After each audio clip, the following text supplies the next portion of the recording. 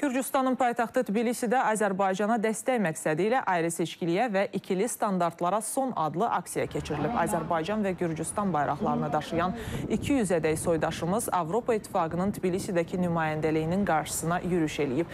Ermənistan tərəfindən mina və ekoloji terrora son verilməsini tələb edən aksiya iştirakçıları Avropa qurumlarının Azərbaycana münasibətdə ikili standart yürütdüyünü bəyan ediblər. İştirakçılar həmçinin ermənilərin Gürcüstan ictimaiyyətinə həqiqətləri məsələləri təhrif edərək çatdırmağa çalışdığını, ictimaiyyəti çaşdırdığını bildiriblər. Gürcüstanın müxtəlif bölgələrindən olan azərbaycanlılar həmçinin Xocalıya ədalət tələb ediblər. Təhlükəsizlik məqsədi ilə əraziyə çox sayda polis cəlb olunub.